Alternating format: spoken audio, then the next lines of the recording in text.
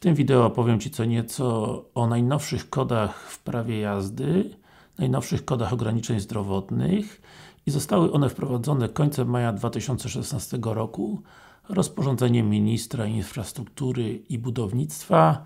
Na szczęście, jak masz prawo jazdy, to stare kody wpisane wcześniej zachowują swoją ważność.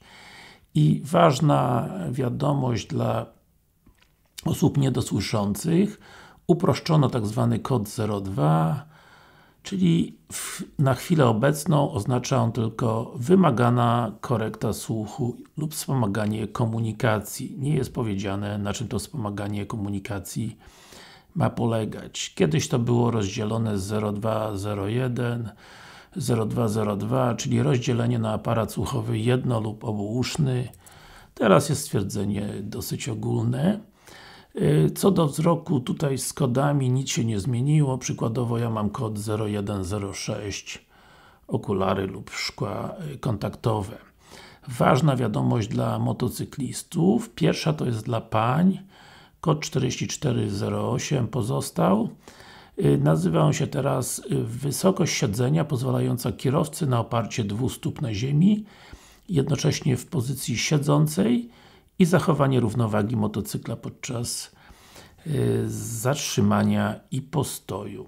Także 44.08 y, Wprowadzono dosyć ciekawy kod 110 y, Oznacza on, że posiada orzeczenie lekarskie stwierdzające przeciwwskazania do kierowania pojazdami w zakresie prawa jazdy kategorii A1, A2 i A.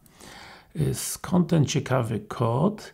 Y, kiedyś na tę kategorię prawa jazdy był problem, bo jak nie miałeś widzenia obuocznego, czyli przestrzennego, to po prostu mogłeś mieć prawo jazdy spełniać warunki na prawo jazdy kategorii B, a nie spełniać na kategorię A, ale orzeczenie lekarskie było y, identyczne. Także w tej chwili, mając kod 110, Y, możesz prowadzić pojazdy kategorii B, ale nie możesz prowadzić pojazdów motocyklowych.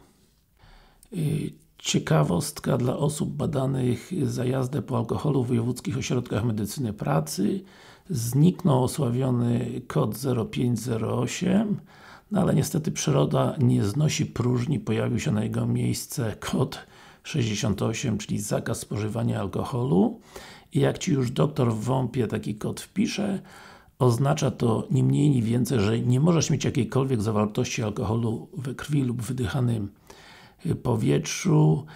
No, dla przypomnienia, norma jest w tej chwili powyżej 0,2 promila. Ty nie możesz mieć od 0,001 do 0,0 do 0,19 powiedzmy, czy do 0,2, czyli to co normalny człowiek tam może być lekko wczorajszy, Ty nie możesz mieć po prostu zero, po prostu musisz mieć zero alkoholu we krwi. Mm, ciekawy kod 106 y, zakaz w zakresie prawa jazdy kategorii B przy posiadaniu kategorii C1, C, D1 lub D prawa jazdy. Może to dotyczyć wyroków sądowych, kiedy na przykład zabrano Ci prawko za alkohol, ale zabrano tylko prawo jazdy kategorii B. Sąd był jednak litościwy, zdarzyło Ci się to po raz pierwszy i możesz pracować jako kierowca zawodowy, ale wierz mi, jak złapią Cię z takim kodem, nie daj Boże po pijaku, no to od razu policjant ładnie złapie za alkomat i sprawdzi Cię, y, czy jesteś trzeźwy, a jak niechcący nie jesteś, to po prostu zabierają Ci wszystko i litości nie ma. I reasumując to wszystko, uważna literatura kodów z tego rozporządzenia y, pokazuje, że powstała olbrzymia ilość kodów dotyczących y, dostosowania pojazdu dla osób niepełnosprawnych. Według mnie jest to krok w dobrym kierunku. Niepełnosprawny też człowiek, a ci ludzie potrzebują auta do normalnego funkcjonowania. Auto już nie jest żadnym luksusem, auto można jakoś tam dostosować, zrobić naprawdę pojazdy przyszykowane pod daną niepełnosprawność, czy jakąś tam ułomność i ten człowiek po prostu może normalnie jeździć. Także yy, w zasadzie taka moja uwaga, jak idziesz do lekarza, a masz jakąś taką wyjątkowo nietypową sytuację, nietypowe schorzenie, to warto, żebyś sobie przeczytał to rozporządzenie Ministra Infrastruktury, pokazał temu lekarzowi kod, który pasuje do Twojej konkretnej sytuacji, wytłumaczył mu, dlaczego jest tak, a nie tak, prawda? No i wierz mi, lekarz też człowiek, może akurat nie, nie mieć rozporządzenia pod ręką, no i wtedy będzie tam się mitygował, dawał Ci jakieś ograniczenia czasowe, natomiast wydaje mi się, że no jak masz schorzenie, które Ci się tam w jakimś y, znacznym stopniu nie pogorszy, no to dlaczego nie masz dostać na jakiś dłuższy okres. Także na tym kończę. Jeżeli miałeś jakieś ciekawe doświadczenia z kodami ograniczeń, szczególnie na styku kierowca, policja, kierowca, policjant, zapraszam Cię do komentarza pod tym filmikiem.